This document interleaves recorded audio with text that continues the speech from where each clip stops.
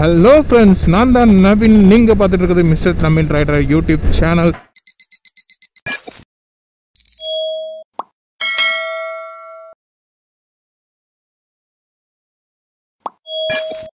so இப்போ நான் எங்கே போயிட்டுருக்கேன் அப்படின்னு பார்த்தீங்கன்னா என்னோட பைக்கில் வந்து சின்ன கம்ப்ளைண்ட் ஆயிடுச்சு ஸோ நீங்கள் கவர் பிக்சரில் பார்த்துருப்பீங்க.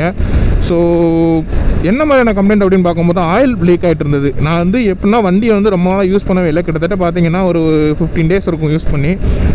அதுக்கு வரைக்கும் வந்து பார்த்தீங்கன்னா அப்பாச்சி ஒன் எயிட்டி நான் பைக் யூஸ் பண்ணிகிட்டு இருந்தேன். ஸோ யூஸ் பண்ணிட்டு இருக்கும்போது சரி சடனாக நாளைக்கு அதாவது சண்டே ஆக்சுவலாக சண்டே வந்து நான் ஒரு ரைடு போகிறதா வந்து ஒரு டீம் கூட ரைடு போகிறதா வந்து பிளான் பண்ணியிருந்தோம். இங்கே பக்கத்தில் தான். ஸோ இடம் சூப்பராக இருக்கும். நான் உங்களுக்கு அந்த வீடியோவாக அடுத்து எடுத்து போடுறேன். அந்த ரைடு போகிறதுக்காக என்றைக்குமே வந்து ஒரு ரைடு போகிறோம் அப்படின்னா வந்து நான் என்ன பண்ணுவேன் அப்படின்னா என்னோடய சஜஷனாக சொல்கிறேன் நான் வந்து என்ன பண்ணுவேன் அப்படின்னு நான் வந்து ஒரு ஒரு நாளைக்கு முன்னாடி என்னோடய பைக்கை முழுக்க செக் பண்ணுவேன். என்னென்ன கம்ப்ளைண்ட் இருக்குது எதுவும் வந்து பைக் வந்து அந்த லாங்க்கு வந்து கரெக்டாக வருமா? இல்லை வந்து நம்ம எதுவும் சேஞ்ச் பண்ண வேண்டியிருக்கா? இல்லை எப்படிலாம் இருக்குது கரெக்டாக இருக்கா அப்படிங்கிறத ஃபுல் டோட்டல் செக்கப்பாக செக் பண்ணுவேன். நட்டு போல்ட்டு எல்லாமே டைட்டாக லூஸாக எல்லாமே பார்த்துருவேன். ஸோ அப்படி செக் பண்ணிகிட்டு இருக்கும் போது இன்றைக்கி இந்த ஆயில் பீட் ஆகிறது வந்து என் கண்ணால் வந்து நம்ம வெளிப்படையாக தெரிஞ்சது. ஸோ இதை எப்படி நான் வந்து சரி பண்ணுறது இது எங்கே இருந்தால் ஃபஸ்ட்டு ப்ளீட் ஆகுதுன்னு ஃபஸ்ட்டு கண்டுபிடிக்கணும் அப்படின்னு சொல்லிட்டு ஒவ்வொரு நட்டு போல்ட்டு மாட்டிருக்க ஒவ்வொரு இன்ஜின்லேருந்து என்னென்ன நட்டு போல்டு எல்லாம் மாட்டிருக்காங்களோ எல்லாத்தையும் வந்து செக் பண்ணி பார்த்தேன். டிஷ்யூ பேப்பரை வச்சும் துணியை நார்மல் ஒயிட் கிளாத்தை வச்சும் செக் பண்ணி பார்த்தேன். எல்லா இதுலேயும் பார்த்தீங்கன்னா ஆயில் எங்கேயுமே ப்ளீட் ஆகலை. அடியில் கீழே இருக்க ஆயில் ட்ரெயின் போல்ட் வரைக்கும் செக் பண்ணி பார்த்தேன். எதுவுமே வந்து ப்ளீட் ஆன மாதிரி தெரியல. ஸோ என்னடா இது? எங்கே ப்ளீட் தான் ப்ளீட் ஆகுது அப்படின்னு சொல்லிட்டு நானும் உட்காந்து உட்காந்து யோசித்து நிறைய இடத்த புக்ஸு அண்ட் யூசர் மேனுவல்ஸ்லாம் எக்கச்சக்கமாக எடுத்து பார்த்தேன். யூசர் மேனுவலில் எனக்கு ஒரு ஹிண்ட் கிடச்சிது. எங்கேருந்து ப்ளீட் ஆகிறாங்க அப்படிங்கிற மாதிரி ஒரு ஹிண்ட் கிடச்சி. என்ன ஹிண்ட்டுன்னு பார்த்தீங்கன்னா நம்ம கியர் போடுற அந்த லிவர் மாட்டிருக்கும் தெரியுமா? ராடு இன்ஜின்லேருந்து வரும் தெரியுமா? கியர் பாக்ஸ்லேருந்து ஸோ அந்த ஆயில் சீல் உடஞ்சா கூட ஆயில் ப்ளீட் ஆகும் அப்படிங்கிற மாதிரியான ஒரு ஐடியா வந்து எனக்கு ஹிண்ட் கொடுத்தது எனக்கு இந்த மேனுவலில் ஸோ அதை பார்த்துட்டு சரி ரைட் இதை கழட்டி தான் பார்ப்போமே அப்படின்னு சொல்லிட்டு கழட்டி பார்த்தா என்னோட செயின் பாக்கெட் ரெண்டுமே எல்லாமே பார்த்தீங்கன்னா அப்படி ட்ரைன் ஆகி போய் இருந்தது. அதுக்கப்புறம் சரி கீழே தான் ஆயில் நிறையா அப்படி கெட்டியாக மண் மாதிரி நிறைஞ்சு போயிருந்துச்சு சரி என்ன தான் இப்படி நிறைஞ்சு போயிருக்கு சரி இருக்குன்னு பார்ப்போமே அப்படின்னு சொல்லிட்டு லைட்டாக கிளறி பார்த்தோம் அப்படின்னா அதில் இருந்து தான் ஆயில் வந்து ப்ளீட் ஆகிருந்துச்சு சரி இது இதில் என்ன ப்ரோ இருக்குது இதான் இப்போ ஆயில் சீலை மாத்திரம் முடிஞ்சு போச்சு அப்படிங்கிற மாதிரி நீங்கள் நினைப்பீங்க. பட் ஆனால் இது ஒவ்வொரு தடவை இந்த மாதிரி ஒரு கம்ப்ளைண்ட்டை சில பேருக்கு வந்து என்னென்னே தெரியாது. ஏதோ செயின்ஸ் பேக்கெட்டில் ஆயில் அடிச்சிருக்காங்க செயின்ஸ் பேக்கெட்டில் இதனால தான் ஆயில் வடிதுன்னு சொல்லிட்டு சில பேர் அப்படியே விட்டு வண்டியை நாஸ்ட் டிக்கெட் ஆக்கிடுவீங்க.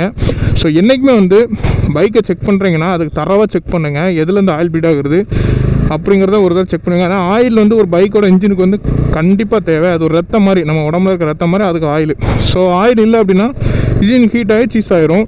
ஸோ இந்த வண்டி சீஸ் ஆகலை. என்ன ப்ரோ ஆயிலெலாம் குறைஞ்சிருக்கும் பார்த்தீங்கன்னா ஆயில் குறைஞ்சிருக்கு. மெயின் வந்து ஒன் பாயிண்ட் டூ லிட்டர்லேருந்து ஒரு நூறு எம்எல் குறைஞ்சிருக்கும் எனக்கு பிளேட் ஆனதுலேருந்து. ஒருவேளை கம்மியாக இருந்தால் நான் பூஸ்டப் பண்ணணும். அது வேறு நான் பார்க்கணும். கிட்டத்தட்ட அந்த வண்டிக்கு நான் வந்து இன்றைக்கி வந்து நான் கொஞ்சம் சர்வீஸ் நிறையா பண்ண வேண்டியிருக்குன்னு நினைக்கிறேன். ஏன்னா நாளைக்கு போகிற ரைடுக்கு வந்து அந்த வண்டியை நான் ரெடி பண்ணணும். அண்ட் வந்து இதில் நிறைய சேஞ்ச் ப்ராக்கெட்டில் சில விஷயங்கள் வந்து நடந்திருக்கு. அது ஷோரூம் போய் சில விஷயங்களை செக் பண்ணால் தான் தெரியும் என்னென்ன நடந்திருக்கு. அண்ட் வந்து என் ஷோரூமில் வந்து ஆல்ரெடி பார்த்தோன்னா நமக்கு வந்து தெரிஞ்ச ஒரு நண்பர் ஒருத்தர் இருக்கார். ஸோ சர்வீஸ் எக்ஸிக்யூட்டர் தான் இருக்கார். அவர் வந்து எனக்கு வந்து ஆல்ரெடி கால் பண்ணி சொல்லிட்டேன் அந்த மாதிரி ஒரு ப்ராப்ளம் இருக்குது அப்படின்னு. அவர் சரி கொண்டு வாங்க அப்படின்னு. ஏன்னா அவரும் நாளைக்கு ரைடு வராங்க. ஏன்னா ரைடு போகிறதுக்கு முன்னாடி பைக்கை செக் பண்ணணும் அப்படிங்கிறது அவருக்கு நல்லாவே தெரியும். பேசிக்காக பார்த்தீங்கன்னா எல்லா ரைடர்ஸ்க்கும் மோஸ்ட்லி இந்த விஷயம் தெரிஞ்சிருக்கணும். தெரியாதவங்க தெரிஞ்சுக்கோங்க. ரைடு போகிறதுக்கு முன்னாடி பைக்கை தரவாக செக் பண்ணணும் அப்படிங்கிறத. ஓகேவா இப்போ எனக்கு வந்து இங்கேருந்து போகிறதுக்கு ஆஃப் அன் ஹவர் ஆகும்னு சொல்லியிருந்தேன். ஆனால் பார்த்தீங்கன்னா இங்கே டிராஃபிக் அப்படிங்கிற சொல்ல பார்த்தா ஓ நோ ஜங்ஷனில் தான் டிராஃபிக்கே வருது.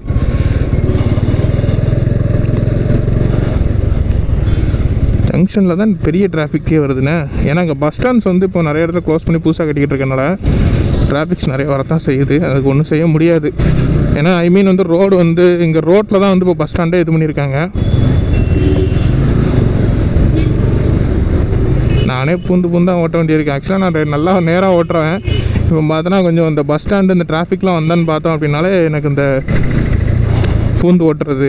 ஆனால் என்னை விட பயங்கரமான புள்ளிங்கோஸ்லாம் இருக்கீங்க. நல்லா தெரியும். ஸோ அதெல்லாம் வந்து நான் பெருமை உண்மையை சொல்ல போனால் அவங்களாம் வந்து ரொம்ப ஒரு பாராட்டத்தக்கிற விஷயம். ஏன்னா இந்த மாதிரி டிராஃபிக்கில் கூட அடித்து பூந்து போயிடுவாங்க எப்படி போகிறானே உண்மையை சொல்ல போனால் எனக்கு வந்து தைரியம் இருக்குது பட் ஆனால் வந்து அந்த பக்குவம் இருக்காது. டக்குன்னு போனால் நமக்கு வந்து அடிபட்டுரும். அந்த மெஷர்மெண்ட்ஸ் அந்த புள்ளிங்க மெஷர்மெண்ட்ஸ் நமக்குலாம் ஒன்றுமே தெரியாது. அதெல்லாம் வந்து லெஜெண்டு தான் சொல்லணும் பைக் ஓட்டுறதுல அவங்கள. பட் ஆனால் மற்றவங்களுக்கு ப்ராப்ளம் வராமல் ஓட்டுறது தான் கொஞ்சம் அவங்களுக்கு கஷ்டம். ஏன்னா அவங்க போயிடுவாங்க பின்னாடிக்கு வந்து எவ்வளோ முட்டிக்கிட்டு நிற்பான். ஆக்சுவலாக ரெட்டை பாலத்தோட டாப்பில் போயிட்டுருக்கேன். இதில் ரெண்டு பாலம் இருக்குது கீழே ஒரு பாலம் மேலே ஒரு பாலம் இருக்குது இல்லை ஸ்ப்ரிங் ஸ்ப்ரிங் சிஸ்டம்லாம் பொறுத்திருக்கதா சொல்லியிருக்காங்க. நானும் நிறைய ஃபோட்டோஸ் பார்த்துருக்கேன் பட் ஆனால் நேரில் கண்ணால் பார்த்ததில்ல. ஒரு தடவையாவது பார்க்கணுன்னு ஆசை இருக்குது பட் ஆனால் முடியல. பார்த்துக்கலாம். என்னைக்காவது ஒரு நாள் டைம் கிடைக்காம போகுது. டைம் இருக்குது பட் ஆனால் வந்து அந்த இது எங்கே இருக்குன்னு எனக்கு சரியாக தெரில சொன்னாங்க நிறைய பேர் ரெட்டப்பாலம் வந்து ஒரு ஆனால் ரொம்ப பழையாத்துல ஒரு ஆங்கிலேயர்கள். இங்கே இங்கிலீஷ்காரன் இருக்கும்போது கட்டின பாலம் இது. கொஞ்சம் லைட்டாக அங்கங்கே ரெஸ்டோர் பண்ணியிருக்காங்க நல்லா செமையாக இருக்குது சரி பைக் கதைக்கு வருவோம். பைக் மெயின்டெனன்ஸை பொறுத்தவரை பார்த்தீங்கன்னா என் பைக் நான் வந்து இப்போ என் பைக்கோட கிலோமீட்டர் பார்த்தீங்கன்னா அறுபத்தி ஒம்பதாயிரத்தி முந்நூற்றி நாற்பத்தொம்போது புள்ளி ஏழு. இப்போ நான் இப்போ நான் ஓட்டிட்டு இருக்கும்போது இது வரைக்கும் வந்து இவ்வளோ ஓட்டியிருக்கேன் அதாவது sixty nine thousand and three hundred and forty nine kilometres வந்து நான் ஓட்டியிருக்கேன் புரியுதா?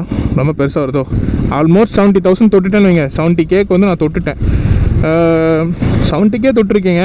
எப்படி ப்ரோ மெயின்டைன் பண்ணுறீங்கன்னு கேட்டால் இருந்தால் இந்த மாதிரி தான் குட்டி குட்டி கம்ப்ளைண்ட்டு த்ரெட்டு போகிறது அது இதுன்னு எக்கச்சக்க பிரச்சனைகள் வரும். வேறு வழி இல்லை எல்லாத்தையும் சால்வ் பண்ணி வச்சிருந்தா தான் அந்த வண்டி இன்னும் அடுத்தடுத்து மெயின்டைனாக வச்சுக்க முடியும்.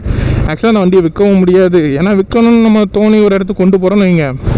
இவ்வளோ கிலோமீட்டர் ஓடின வண்டி யாராவது வாங்குவாங்களான்னு கேட்டிங்கன்னா அது கஷ்டம் தான் ஏன்னா உங்க நீங்கள் வாங்குவீங்களா இருந்தீங்கன்னா ஒரு கமெண்ட் பண்ணுங்கள் பார்ப்போம். எத்தனை பேர் இதுக்கு ஆர்வமாக இருக்காங்கன்னு. மித்தபடி வந்து இண்டிகேட் வர்றான் ஒரு இண்டிகேட்டர் இல்லாமல் ஒன்றும் போடாமல் உள்ளே வரான் ஒருத்தன் கிறிஸ்டாக்கா இருக்கிறேன் கொஞ்சம் விட்டா நீ இது அடிச்சுட்டு இழுத்திருப்பான் அமைக்கியிருப்பான் உள்ள. பேரிகேட்டோட சேர்த்து அமைக்கியிருப்பான் ஆக்சுவலாக இண்டிகேட்டர் போட்டு தான் அவன் வந்து ரைட் சைடு வரணும் பட் இண்டிகேட்டரும் போடலாம் ஒன்றும் போடலாம் அவன் பாட்டுக்கு வந்து நெரிக்காப்புல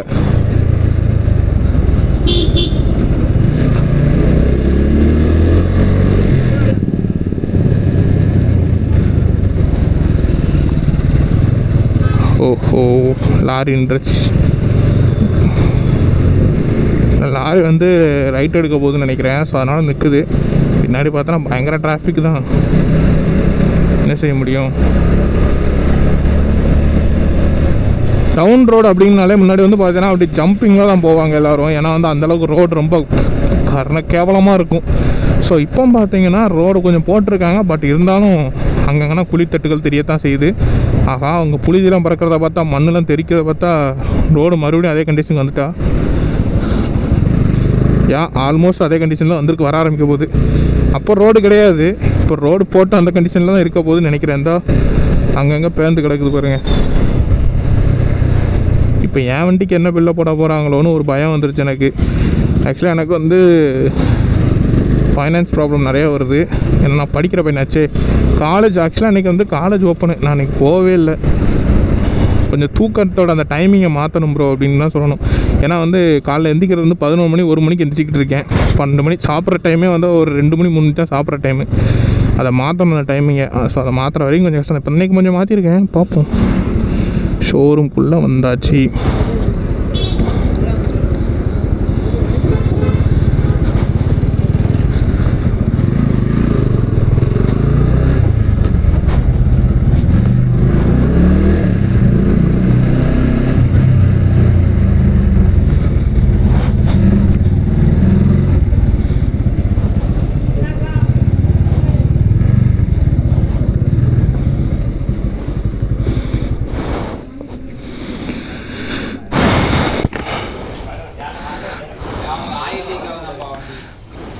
கழட்டி பார்த்தேன். செயின்லாம் ட்ரையாக காஞ்சு போயிருக்கு. ஆனால் கீழே இருந்து ஆயில் வந்துக்கிட்டே தான் இருக்குது பாக்கெட் ஆயில் லீக்கேஜ்